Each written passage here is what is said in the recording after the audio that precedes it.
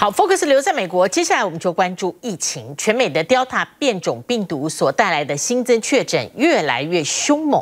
我们以美国加州的南部大城洛杉矶来看，在一个月之内呢，它的确诊病例增加了百分之七百，而加州呢已经恢复戴口罩令了。使得美国的医学界也开始呼吁总统拜登，是否全国都应该宣布重新戴上口罩？因为 Delta 变种病毒成为美国最主要的病毒株。那么除了加州的情况之外，那么在美国还有很多室内跟人多的地方，现在群聚的情况非常普遍。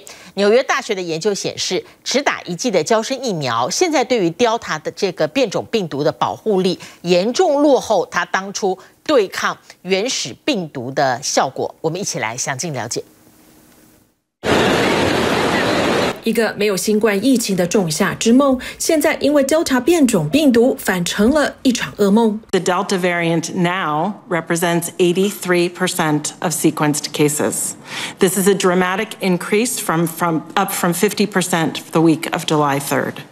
In some parts of the country, the percentage is even higher, particularly in areas of low vaccination rates. 美国推行全民疫苗接种进入撞墙期，仅近一半人口完整接种。 还没接种的另一半，现在成了新增确诊、住院和死亡最大宗。过去两个星期，全美新冠住院就上升了百分之五十。十九号，美国卫生部宣布将继续延长公共卫生紧急状态九十天。My greatest fear is that patients continue to pour in and we're unable to give them the care that they need because we don't have staff or resources. 现在人口近四千万的加州，一半居民都面临又一次的口罩令或建议。光是在洛杉急菌，过去一个月新冠病例就激增百分之七百。You've got kids at home or you're immunocompromised and you're thinking, hmm, should I be more cautious and put my mask on when I'm going to indoor spaces? I would strongly consider that. This is not the time to let down our guard.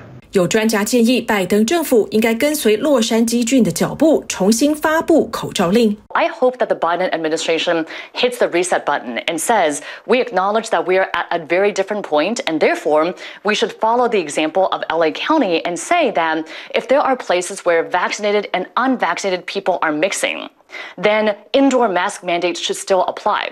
美国国会主治医师也建议议员们戴上口罩来保护自己。最新，众议院议长佩洛西的资深助理以及白宫一名官员都筛检出阳性，不过两人都已完整接种，仅出现轻症，且与总统拜登和佩洛西都没有密切接触。前一天，美国儿科学会也建议两岁以上孩童到校全员戴口罩，但全美至少九个州立法禁止学校规定戴口罩，部分州也禁止公立学校。和大学要求接种疫苗，一部分是因为新冠疫苗尚未取得完整药证。不过，一名联邦法官判决，印第安纳大学可以要求返回校园的人必须打疫苗，反对者则誓言上诉。We have the tools to end this epidemic. It is up to us to utilize those tools to their maximum. 根据美国疾管中心，目前接种率最低的年龄层就是十二到十五岁，仅百分之二十六点四完成接种。上周全美就有两万三千名孩童染疫。美国药厂也加快脚步进行十二岁以下的疫苗临床试验。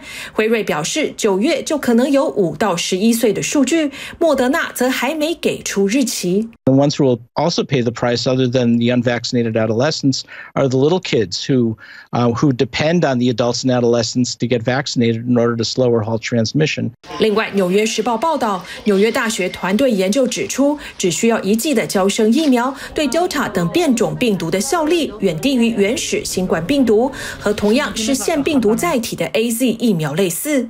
一剂 A Z 对 Delta 的效力仅百分之三十三。